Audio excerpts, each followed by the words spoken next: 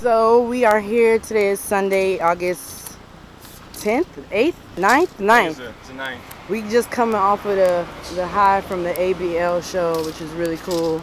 Now we back at this wall.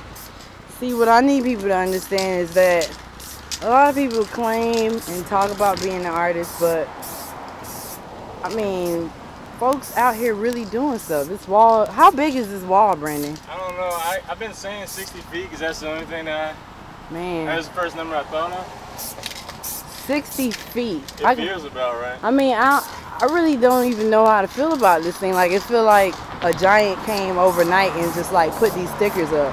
That's how crazy it is. But y'all, I just want to show y'all some of this. If y'all can't, don't get the opportunity to come by the Studioplex area.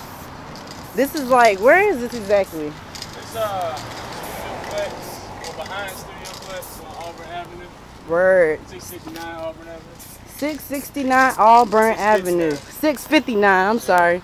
So, I mean, if y'all get an opportunity, if y'all in the area, come around the Studioplex area, the building, and check out this, this, I, I can't, I, I really don't know what to say about it because it's just, it's gymongous. And I don't even think that's a like word. That word. I like that word. But, uh, all the time. but we gonna be out here. So, yeah.